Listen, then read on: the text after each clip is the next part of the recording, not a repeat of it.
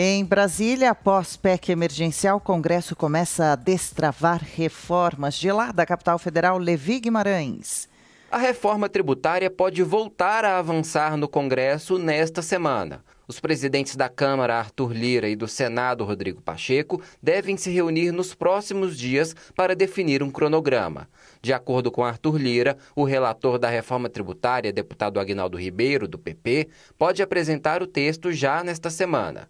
Porém, entre os debates e as votações nas duas casas legislativas, o intervalo previsto pelo presidente da Câmara é de seis a oito meses.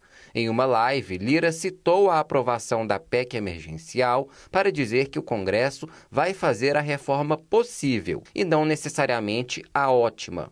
O ótimo não foi possível, mas o possível foi bom. Isso é o que interessa. Isso vai servir também como, como base para a reforma tributária. Mas a reforma ideal não é a que eu acho que é correta, nem a que você acha que é correta, nem a que o presidente Rodrigo Pacheco acha que é correta, mas sim a maioria absoluta de quórum qualificado para a modificação do APEC, por exemplo.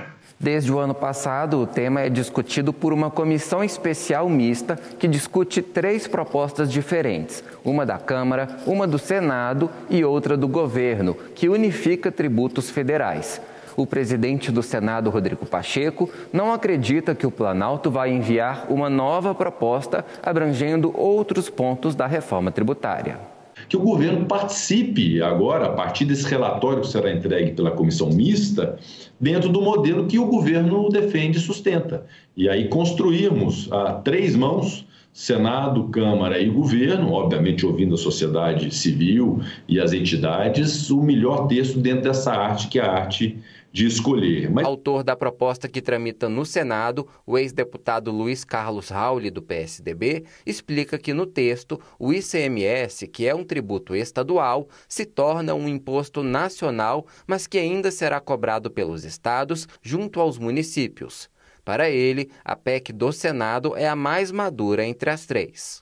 Nós teremos um IVA dual com a mesma lei, uma só lei, cobrança destino, alíquota por fora, cobrança eletrônica, né, online, com crédito financeiro e vai diminuir a carga tributária das famílias que ganham menos, das famílias mais pobres do Brasil. A reforma administrativa também deve dar os primeiros passos no Congresso. Arthur Lira pediu para que a presidente da Comissão de Constituição e Justiça, a deputada Bia Kisses, agilize a tramitação.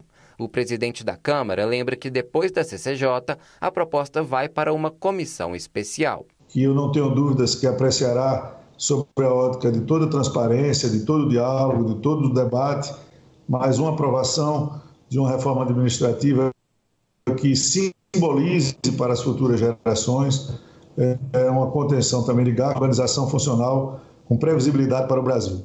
O relator da reforma administrativa na CCJ da Câmara será o deputado Darcy de Matos, do PSD, que é aliado do presidente Jair Bolsonaro. Ele deve se reunir nesta terça-feira com a deputada Bia Kisses para acertar o cronograma. Na comissão, os deputados avaliam apenas se a proposta não fere a Constituição. De Brasília, Levi Guimarães.